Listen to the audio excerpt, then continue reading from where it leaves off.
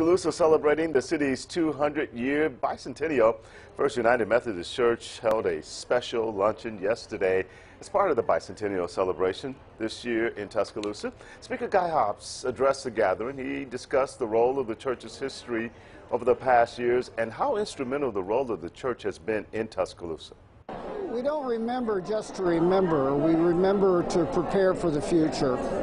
It's as simple as that. We need to know where we are to make better decisions for where we're going. Throughout 2019, the city will be celebrating and honoring Tuscaloosa's history and reflecting on new ways to create a better future for everyone living in the Druid City.